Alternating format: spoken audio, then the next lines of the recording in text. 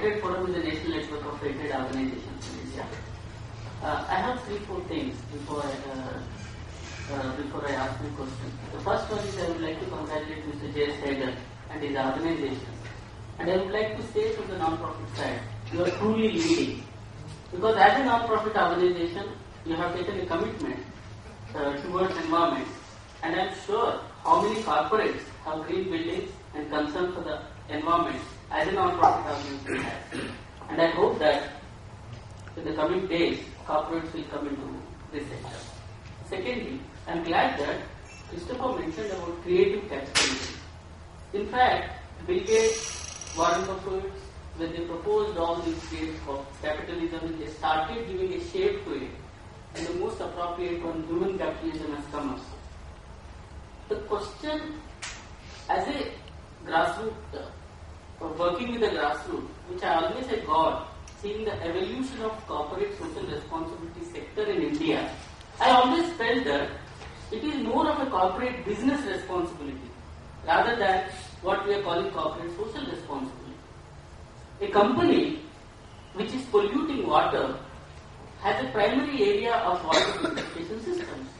A company who felt that uh, they, they are degrading environment, majority of the fund they are spending on the environment. This is where I always felt that it is a corporate business responsibility which they have to fulfill in any way.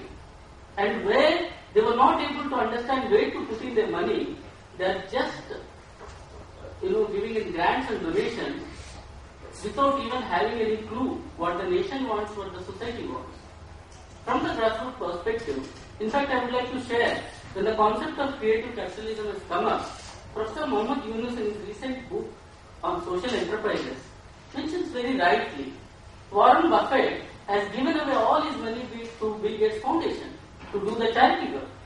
And Professor Yunus asks, the greatest business leader of the world, can he teach business ethics or business strategies to some of the micro entrepreneurs to that money? Can a social enterprise can be developed, which they did with Danone, and targeting at a human, you know, uh, Grameen Bank tied up with Danone, and they started a social enterprise owned by the members. They, uh, they come out with a yogurt to address the issue of mal uh, uh, nutrition in their own country, Bangladesh. And the profits, of course, some of the profits have been shared with the stakeholders as well, as Professor Bakshi rightly said. The approach should be more of shared prosperity. And how do we achieve that uh, shared prosperity? In fact, when I was uh, uh, listening to Mr. Yusuf, it is a fact. It is not that Tatas are working in this country just when the corporate social responsibility concept has come in the country, but they are working much beyond that. Today, Tata Endowment Fund is more than 500 crores. They are working with more than 700, 800 NGOs, and they were working for the last uh, 25, 30 years. And another case, I came from Andhra Pradesh. I know what Byrraju Foundation did, the tainted man itself. But there are some good things which Byrraju Foundation actually did. They tried to reorient towards the livelihood approach and try to help the grassroots worker.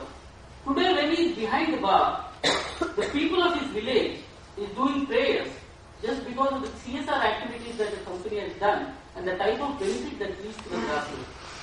It means to say that how the companies are using CSR is very obvious now. I see a big gap. The big gap between the vision that India developed, Vision 2020, between the planning commission which comes out with the priority areas, with other stakeholders what they are doing. Why can't corporates join up with the vision of the government, with the vision 2020, and add on to the areas where they are required more? Why can't corporates get into social enterprise models and develop small entrepreneurs to grow and share prosperity can be developed. And it, it has to be achieved. How do we go about it? I'll be glad to know for more information from the dignitaries. In this country, that model where an organization uh, partners with either an NGO or a social enterprise or some other entity for a mutual benefit And I think that's the, the important part of this as well. Our, my organization has done some work with, the, uh, with Professor Yunus and how he differs from in, in rural banking. We've also done work with the Gates Foundation on rural banking as well. And they come at the problem from two different angles. Um, Professor Yunus's organization is of the strong belief that work like that shouldn't be should be not for profit. Whereas the Gates point of view, I mean, this is simplifying it to, to, to an extent. The Gates point of view is that it should be profitable for it to be sustainable, for it to carry on and uh, develop in other parts of the country, other parts of the world as well. But they both agree that the collaboration and the way that they uh, address an issue like rural banking, they're both on the same path. It's just that they're choosing two different routes to get to the to, to the end. So I think I think that's how it's going to be very important, in, especially in a country like this, uh, where I believe CSR will be redefined. And you know, part of this discussion is the redefinition of CSR, um, and I think that's where it's going to be very important for us. Thank you, Yusuf. And just to kind of answer that, uh, just to add to that, is that uh, we had a presentation on Amul and NDDB in Bombay, where we could not have uh, Professor Verghese, Dr. Verghese Kurien with us because he's unwell and not able to travel.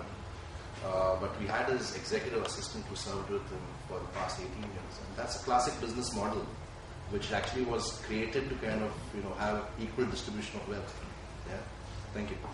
Okay. Sorry, Chris, you want And what the NGOs are doing and uh, uh, examples like Grameen Bank and uh, not-for-profit models. What is increasingly happening is uh, that uh, we have organizations, unfortunately I can't name them, uh, but uh, uh, there, there is a very large insurance company in India, and you'll see it happening in the next uh, few months, which is coming up with micro insurance, which is aimed, it's a product which is aimed at uh, people with with uh, very very low incomes and uh, the kind of the kind of scheme, the business model that they've developed uh, is amazing simply because of the fact that uh, you get uh, a, person who can't afford to take a regular insurance policy can actually take it by paying a one-time premium, which is absurd when you compare it to the, the amounts that normally. Um, there are there are other, other companies like this who are looking who are looking at business models which are based on tapping bottom of pyramid. And uh, the amazing thing is that these businesses are actually very very profitable. Um, and they are also they are also very non-traditional. This is not uh, they are, they are, and this is where creative capitalism comes in. Uh, Bill Gates' quotation was also in reference to the advanced uh, uh, market, advanced uh, market control program, which developed a drug for developed countries, again on a profit basis. And uh, if you look at the pharmaceutical and healthcare sector in India today, again, there's a very big business opportunity. Uh, I've been talking a lot in the last couple of months uh, to uh, healthcare and pharmaceutical companies.